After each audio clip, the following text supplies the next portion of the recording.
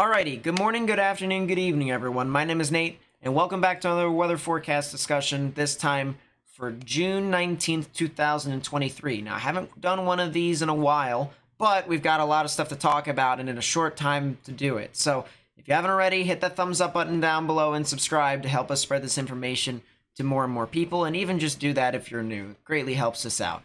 All right, we want to talk about the general severe weather first. We'll get into tropical weather next, and then we'll talk about something special at the end of the stream that still has something to do with weather.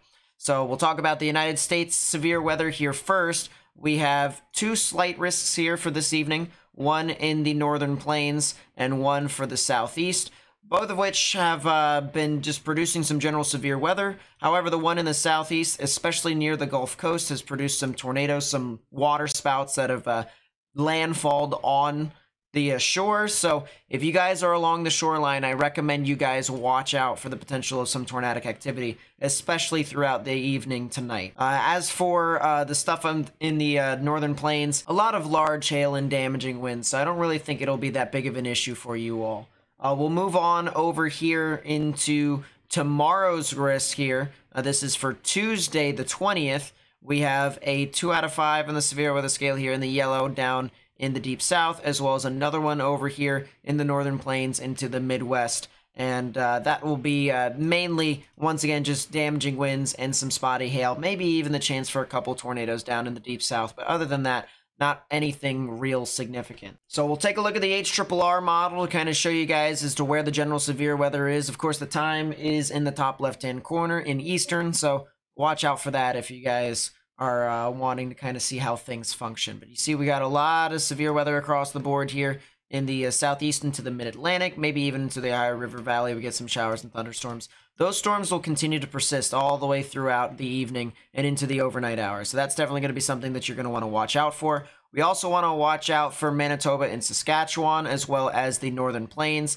As I said, the uh, threat for severe weather is possible up there, so definitely something that you guys are going to want to watch out for heading into the late evening and also into the overnight hours.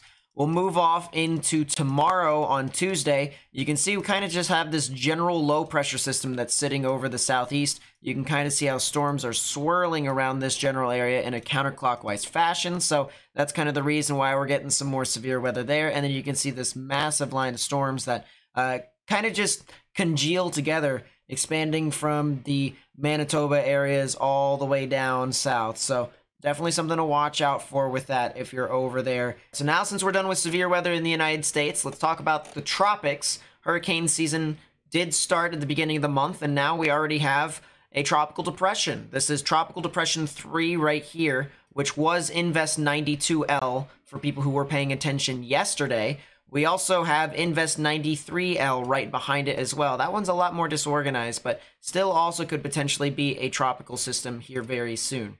Future Nate here. Tropical Depression 3 is now turned into Tropical Storm Bret. It is now a 40 mile per hour storm with a 1008 millibar minimum pressure, moving west at 21 miles per hour. So there you go. Uh, this is just the general look of the Atlantic. You can see we have our low pressure system over in the eastern portions of the United States. We also have this big flow here, big high pressure system that is situated over the central portion of the Atlantic. And this high pressure system is going to try and steer a lot of this flow off to the west and into the Lesser Antilles. So the Lesser Antilles may have to watch out for this one. We will zoom in here to show you guys some of our satellite imagery. This is our infrared satellite imagery that shows us our tropical depression 3. You can see the general flow of these clouds that are wrapping around into a, a wide center. It's not exactly super consolidated quite yet. So therefore, they have not given this a tropical storm. If this does end up forming into a tropical storm, which the National Hurricane Center says it will, this will be Bret. This will be B-R-E-T, Bret, Tropical Storm Bret. So uh, something interesting to note with this, uh, we do have some good swirl in general, and we have some good outflow as well. You can see these uh, little clouds that are expanding in a clockwise fashion. That is healthy ventilation for tropical systems. Whenever you see that, you know that this storm is definitely tropical and it definitely has room for improvement. Watch out overnight tonight. That might be the time period into which this storm could potentially start to intensify. Uh, we call that DMAX. DMAX is uh, usually when there's a few hours after sunset and the storm has had time overnight. Uh, that's usually when thunderstorms start to become a bit more robust within this general time frame, and we could potentially be seeing some more of an intensification period from Tropical Depression 3. Now here's our water vapor satellite imagery to kind of give us a little more of a zoomed out view of this thing and see what all's going on. We have a lot of moisture in this general area, right around here.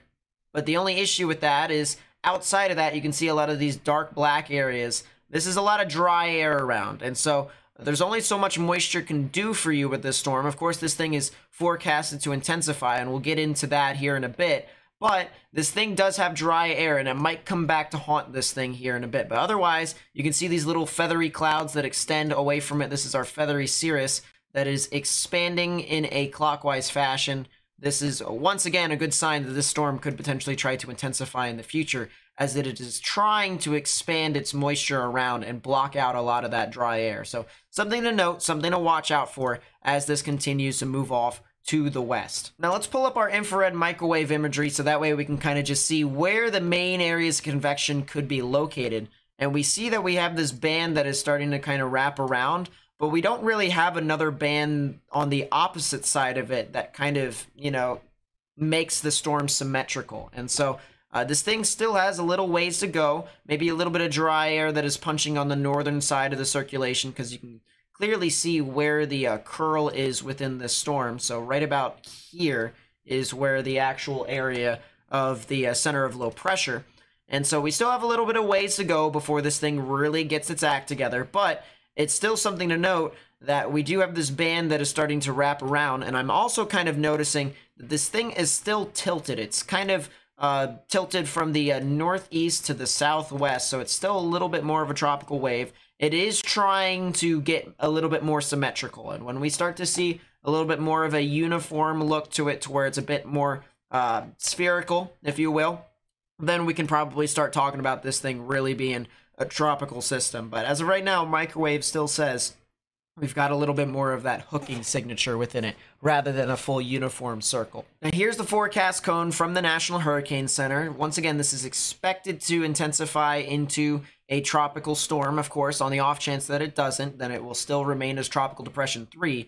But if this does end up forming into a tropical storm, this will be Bret. So uh, get familiar with that name. This will continue to uh, move on through and potentially even intensify into a hurricane, which uh, it's been a while, actually, a long, long while. I'll pull up the statistics. Uh, if I do post a video tomorrow, I'll pull up the statistics as to when the last time we've had a hurricane in June was, but we are anticipated to see a hurricane on its approach to the Lesser Antilles and the Windward Islands. So watch out for that. And then areas over here near Puerto Rico, Haiti, and the Dominican Republic, you guys might even need to watch out too for the threat of a tropical system moving in your area sometime around Saturday. All right, Saturday morning into Saturday afternoon, Saturday evening. That's when rains can start to move on through. But for right now, Windward Islands are going to want to watch out sometime from Thursday into Friday. I really do believe that's the time frame into which we could be watching out for something potentially to the uh, level of a hurricane. Now, I want to go over a couple of things here, such as the spaghetti models, because I really do believe this is going to be very helpful for us.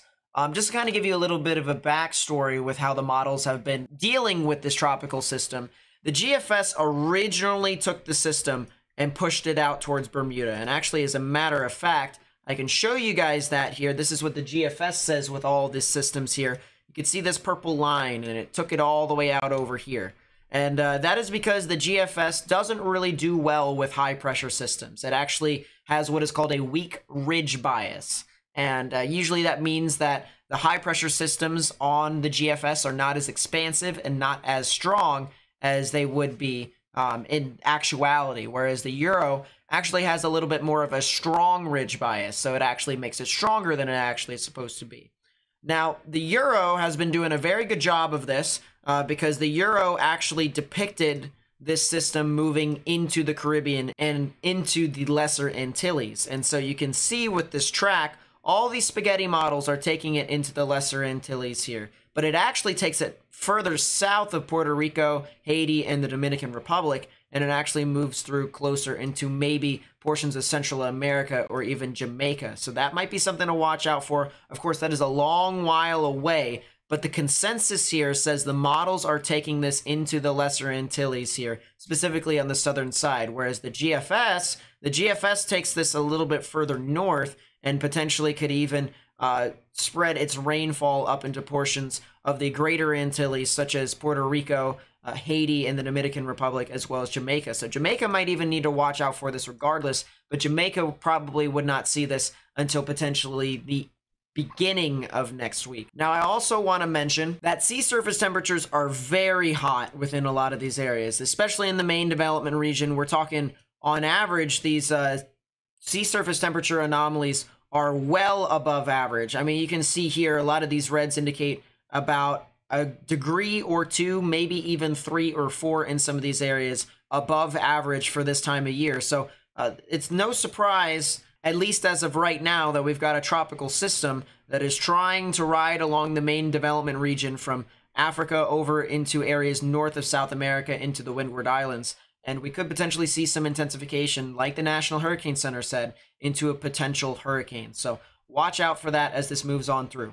I also want to mention here, real quickly, that we do have some ocean heat content. If you think of how uh, convective available potential energy is uh, basically what fuels severe weather, this is what fuels intensification for tropical systems. The ocean heat content, how far the heat uh, moves down in the water. And so the more heat a tropical system can pick up from the water, the stronger or the uh, more time that a storm can sit over a particular spot for it to continue to intensify and uh, further mature and stuff like that. So, well, as we get closer and closer towards the Windward Islands, we could be talking about a period of intensification here. And even as it gets into the Caribbean, we could potentially continue to see that given the right environment. So we'll have to watch out for that and how this storm interacts with the ocean heat content. But for right now, there is enough energy for this thing to continue to intensify. Of course, it's not the most that I've ever seen in the world, but it is definitely still enough for this thing. All right, now let's transition over the Invest 93L. Over the next seven days, this thing has a 50% chance of formation. So got a long time period before it actually can do something.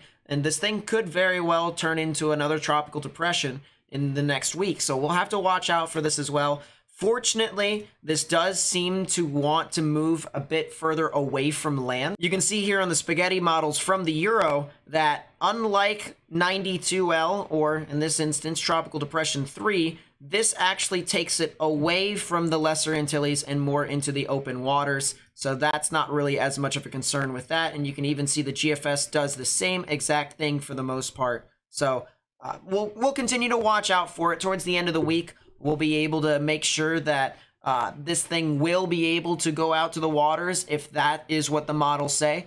Uh, but I would still watch out, all right? On the off chance that things do veer, tropical weather is weird that way. We have seen models that have uh, different in opinions and even changed their own opinions on some certain tropical systems in the history of weather. So we'll be able to show you guys as to what's going on with that as this moves on through. But still a lot of time before this thing actually impacts any sort of land or even gets close to land. Now, I also want to show you guys here our wind shear and our vorticity. You can see our vorticity is outlined in those contours. And then, of course, we also have the wind shear with our wind barbs as well.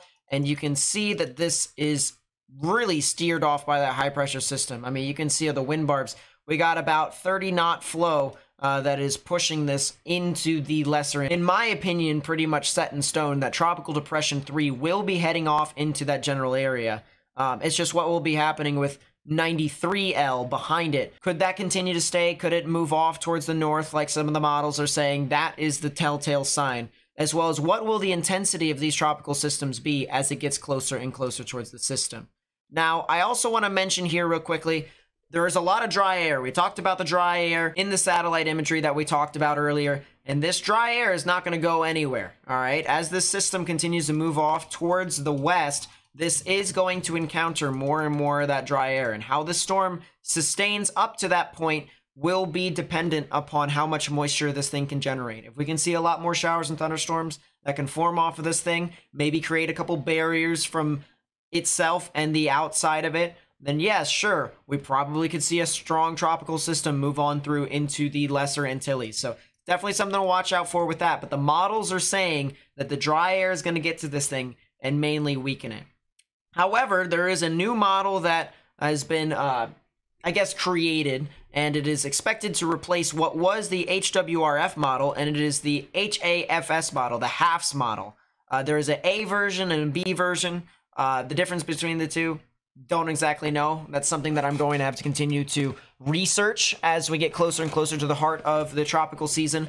But you can see that this thing is a 983 millibar system that is a, a high-end tropical storm into a low-end hurricane on its approach to the Lesser Antilles. So uh, the National Hurricane Center might be uh, using this a little bit more in regards to how this could actually sustain as this gets closer and closer towards the Lesser Antilles. But the one thing I want to note here with this is that see how there is a lot of thunderstorms on the eastern side and not as much on the western side. This might be because of all the dry air that is in that area. Uh, this model might be saying, hey, this tropical system might sustain, but it might not be as uniform. So something to kind of note with that, with what the models are saying. If that is true, we probably will not see any sort of rapid intensification, and the ceiling of this may be category one, maybe category two if this thing does actually intensify significant. All right, now last but not least,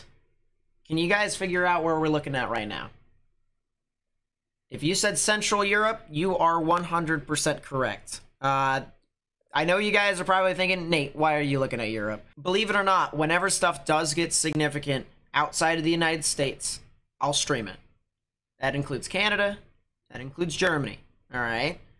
In this instance, this is a severe weather system that is going to be moving on through. We have a big trough that is digging on through. And we've got some strong wind shear that is going to be moving over the central portions of Germany. All right. So if you know anyone that lives near that Frankfurt area or anyone south of Frankfurt, somewhere around that area, uh, they could potentially be seeing some severe weather because we do have a low pressure system that's going to be creating a lot of vorticity, especially along the triple point. I'll show you guys what I mean by that here in a second. Um, but you can see here, uh, we have a lot of moisture, at least according to the Euro. We have uh, some dew points that are in upwards of 16, 17, 18, 19, 20 degrees Celsius, which would be somewhere around the 60 to 70 degree dew point measure uh, in Fahrenheit. So just something to note, we do have a lot of moisture over here in this general area. We also have a lot of energy, a lot of convective available potential energy, we're talking about 2,000 to maybe even a little bit shy of 3,000 joules per kilogram of convective available potential energy, which is essentially the displacement between the warm air rising and the cold air sinking in the atmosphere. The greater the displacement, the more energy there is for thunderstorms to form or sustain. So we have quite a bit of that over here in Germany here on Thursday. We'll be talking about Thursday morning for us to potentially stream. All right, we'll have to see. We'll have to keep up with the models. And uh, we also have to say, look at this. I mean, this is as clear cut of a triple point as you're going to get. Here's your cold front right here. Here is your warm front. Right about there is where I'm thinking where the hot spot for tornadoes could potentially be. There is a threat for tornadoes here today. I would expect that here for central to western Germany, heading off into extreme eastern France, maybe even areas of Belgium and Luxembourg could actually be a potential area to watch out for as well. So we'll see. We'll see how things keep going on. I might upload a video on Wednesday. We'll see what happens there. Uh, but if this continues to end up being significant, if the tropical systems continue to be significant, I'll give you guys an update there as well. So thank you guys so much for watching this super long video. If you did enjoy it, please be sure to leave a like down below. Subscribe if you're new. Turn on notifications. Share this with friends and family and on social media. Also, follow me on social media. Link will be in the description down below. If you have any questions, ask me on Twitter or Discord, and I will catch you guys next time. Peace out, everyone. And you know what? I always knew there was one thing I was forgetting. I'm going to be streaming tonight, but it's not going to be weather. It's going to be sports. If you want to hear me lose my mind over a hockey team, Sportsbound's where it's at. Link is in the description down below for the live stream. And of course, see you guys next time.